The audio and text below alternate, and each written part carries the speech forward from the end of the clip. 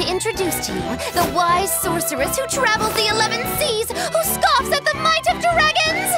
None other than the acclaimed, the illustrious Machikiki Kambilu Dindo Dindo Laroon Do! Magilou for short. Foolish girl, how many times have I told you? A magician's apprentice must wear a pleasant grin. Magician? If you cannot summon a dove, then act like one! Cuckoo. That power.